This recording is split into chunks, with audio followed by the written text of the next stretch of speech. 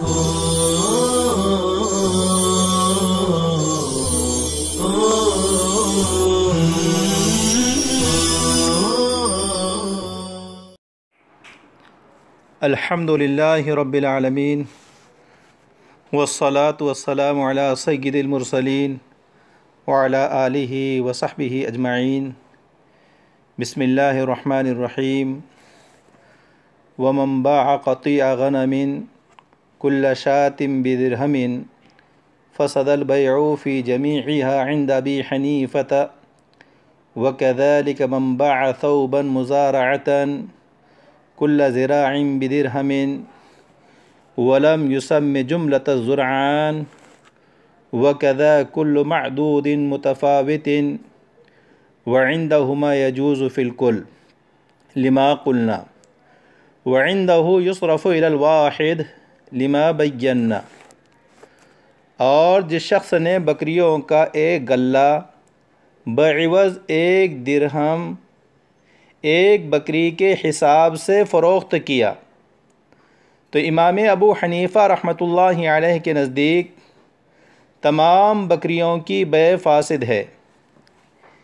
इसी तरह गज़ों की नाप से कोई कपड़ा बहिसाब एक दिरहम फ़ी गज़ के फ़रोख्त किया और तमाम गज़ बयान नहीं किए तो बे फासिद होगी।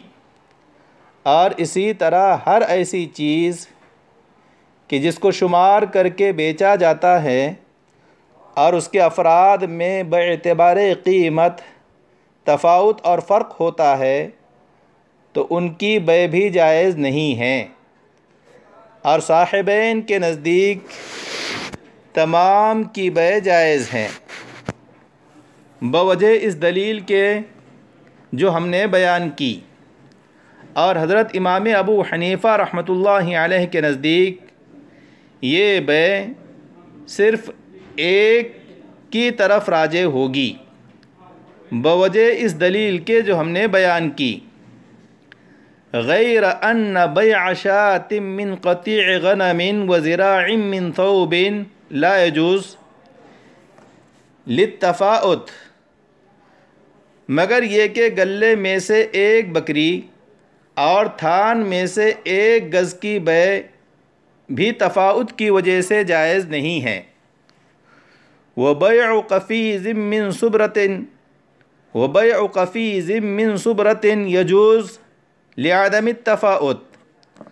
और ढेर में से एक कफ़ीज़ की बै तफाउत न होने की वजह से जायज़ हैं। फ़ला तुफ़दी अलजहालत इलमुनाज़ात फ़ी व तुफ़दी इलेहा फ़िल अव्वल फ़वद हल फ़र्क़। बस चूँकि ढेर में से एक कफ़ीज़ की बे में जहालत, मुफजी मुनाज़ा नहीं है और गले में से एक बकरी और थान में से एक गज़ की बे में जहालत मुफजी मुनाज़ा है। इसलिए फ़र्क ज़ाहिर हो गया। कौल, वमन इबता सुब्रत तआमिन, अला अन्नहा कफ़ीज़िम बिमिअत दिरहमिन, फ़वजदहा अक़ल्ल, कानल मुश्तरी बिलखियार इन अखज़ल मौजूद बहिस्सतिही मिन समन व इन फ़सखल बैआ लतफ़रुक़ सफ़क़त अलैहि क़बल तमाम फ़लम यतिम रदाहु बिलमौजूद क़ाल व इन वजदहा अक्सर फ़ज़ियादतुलबाय लिअन्नलबैआ वक़ा अला मक़दार मुअय्यन वलक़द्र लैस बिवस्फ़िन अल्लामा क़दूरी अलैह ने फरमाया, और जिस शख्स ने अनाज का एक ढेर इस शर्त पर ख़रीदा कि सौ कफ़ीस, सौ दिरहम के इवज़ हैं, फिर मुश्तरी व ख़रीदार ने इसको कम पाया तो मुश्तरी को इख्तियार होगा। अगर चाहें तो मौजूदा मकदार को उसके हिस्से समन के इवज़ ले लें, और अगर चाहें तो बै को फस्ख कर दें। क्योंकि अक़द तमाम होने, पूरा होने से पहले सफ़का उस पर मुतफरक हो गया। तो मौजूदा मकदार के साथ उसकी रजामंदी पूरी नहीं हुई। और अगर मुश्तरी ने अनाज के उस ढेर को सौ कफ़ीस से ज़्यादा पाया तो ज़्यादती बाए की होगी। क्योंकि बे एक मकदार मुन पर वाक़ हुई हैं।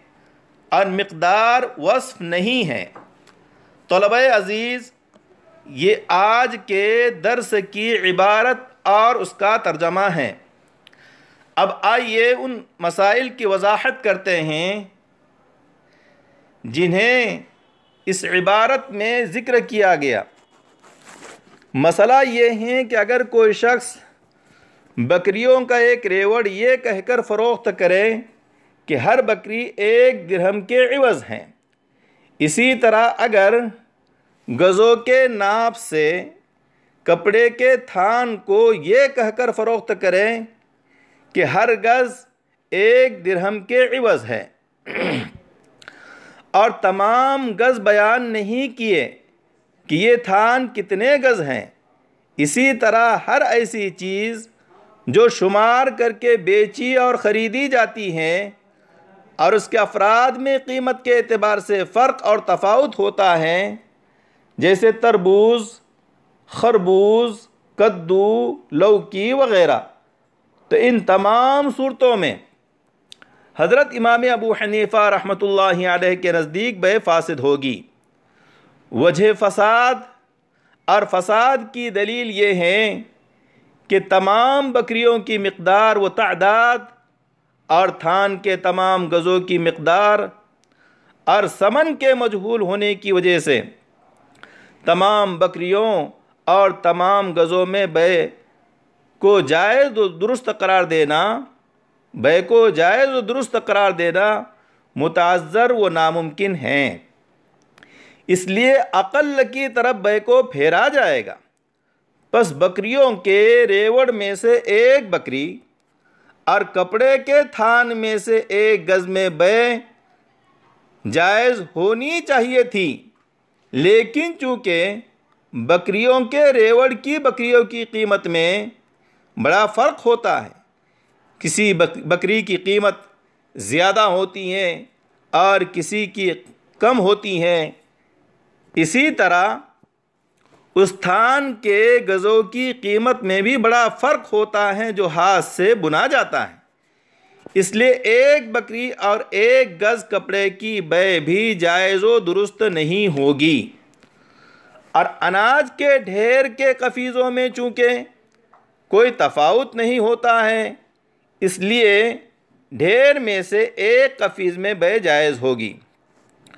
ख़ुलासा ये कि बकरियों और थान के अतराफ़ में चूँकि बेतबार कीमत बड़ा फ़र्क होता है, बड़ा तफावत होता है, इसलिए गले में से एक बकरी और थान में से एक गज़ जिसको मबी करार दिया जाएगा, वो मजहूल है। और मजहूल भी ऐसा जो झगड़ा पैदा करेगा। बई तौर के बाए और सेलर कम कीमत बकरी और थान में से कम कीमत एक गज़ देगा। और मुश्तरी व बायर की ये कोशिश होगी कि कीमती बकरी और कीमती एक गज़ कपड़ा ले लूँ। और दोनों में झगड़ा वाक़ होगा। इसलिए बे की ये सूरत जायज़ नहीं है।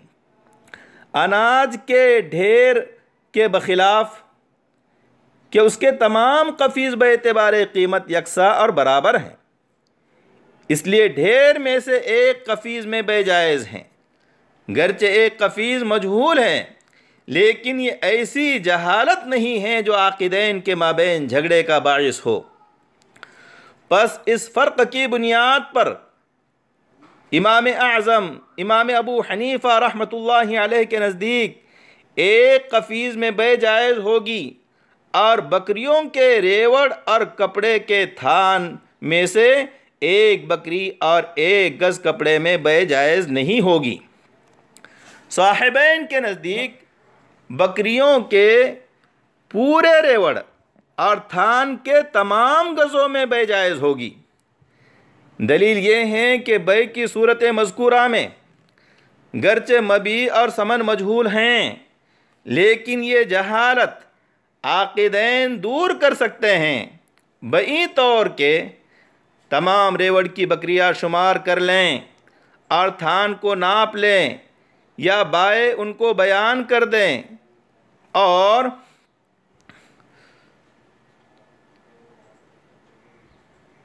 शुमार करने से या नापने से या पूरी मकदार को बयान कर देने से जहालत दूर होगी।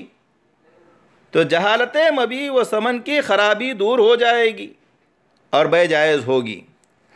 आगे की इबारत, काल वमन इबता सुबरत तामिन अला अन्नहा मियत कफ़ीज़िम बिमियत दिरहम फ़वजदहा अक़ल्ला इला आखिर ही इस इबारत में। जिस मसले को बयान किया जा रहा है, वो ये है कि एक शख्स ने अनाज का एक ढेर इस शर्त पर ख़रीदा कि ये सौ कफ़ीज़ हैं, सौ दिरहम के इवज़। गोया उसने सौ कफ़ीज़ों का मामला, सौ दिरहम के इवज़ किया है। फिर उस ढेर को नापने पर यह मालूम हुआ कि वो कम हैं मसलन नवे कफ़ीज़ हैं तो मुश्तरी और ख़रीदार को इख्तियार होगा कि मौजूदा मकदार, यानी नवे कफ़ीज़ को नवे दिरहम के इवज़ ले लें या बे को फस्ख कर दें। मुश्तरी व ख़रीदार को इस इख्तियार के हासिल होने की दलील ये है कि अक़द तमाम और पूरा होने से पहले उसके हक़ में सफ़का और मामला मुतफरक हो गया। बई तौर के मामला सौ कफ़ीज़ों पर हुआ था और यहाँ नवे कफ़ीज़ निकल आए। इसी को सफ़े का मुतफरक होना और बदल जाना कहा जाता है। और चूँकि मुश्तरी ने मबी पर अभी तक कब्ज़ा नहीं किया और उसकी रजामंदी मुकम्मल नहीं हुई, इसलिए अक़द भी ताम और पूरा नहीं हुआ। गोया तमामी अक़द से पहले सफ़का और मामला मुतफरक हो गया। और जब सफ़का मुतफरक हो गया तो मौजूदा मकदार पर मुश्तरी की रजामंदी मुकम्मल नहीं होगी।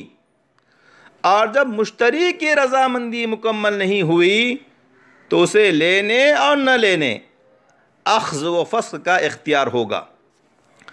और अगर मुश्तरी ने उस ढेर को ज़्यादा पाया तो ज़्यादती बाए के लिए होगी।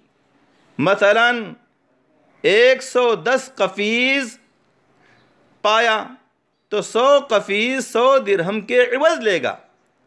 और माँ बकिया बाकी मादा दस कफ़ीज़ बाए के होंगे, सेलर के होंगे। क्योंकि बे मकदार मुन यानि सौ कफ़ीज़ पर वाक़ हुई हैं। और जो चीज़ मकदार मुन पर वाक़ हो, वो उसके अलावा को शामिल नहीं होती हैं। इल्ला ये कि ये ज़्यादती अज़ कबील वसफ़ हो। इल्ला ये कि ये ज़्यादती अज़ कबील वसफ़ हो। तलब अज़ीज़, यहाँ हमें कद्र यानी असल और वस्फ़ के दरमियान फ़र्क को समझना बहुत ज़रूरी है। कद्र और वस्फ़ के दरमियान ये फ़र्क है कि अगर कोई चीज़ टुकड़े कर देने से ऐबदार हो जाती हैं, अगर कोई चीज़ टुकड़े कर देने से ऐबदार हो जाती हैं तो कमी और ज़्यादती इसमें वस्फ होती हैं। और अगर टुकड़े कर देने से आयबदार नहीं होती हैं, टुकड़े कर देने से आयबदार नहीं होती हैं तो कमी और ज़्यादती इसमें असल होती है। अब इस जबते को सामने रखकर आप बखूबी समझ सकते हैं कि मकीलात और मौजूनात वो चीज़ें जो पैमाने से नापी जाती हैं और वो चीज़ें जो वज़न से तोली जाती हैं में कमी व ज़्यादती असल हैं। और ज़रा यानी गज़, मज़रूआत यानी उन चीज़ों में जो ज़रा से नापी जाती हैं। मसलन कपड़ा वग़ैरह में ज़रा वस्फ़ हैं। यहाँ ये बात भी जहन में रहे कि कद्र यानि असल के मुकाबले में समन आता है। कद्र यानि असल के मुकाबले में समन आता है। यानि असल शे के कम या ज़्यादा होने से समन कम और ज़्यादा हो जाता है, जबकि वस्फ़ के मुकाबले में समन नहीं आता।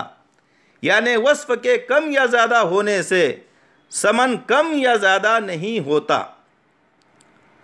आज के इस दर्स में इसी पर इक्तफ़ा करता हूँ, वल्लाहु आलम बिसवाब वहुअल मुअफ़्फ़िक़, वस्सलामु अलैकुम वरहमतुल्लाहि वबरकातुहू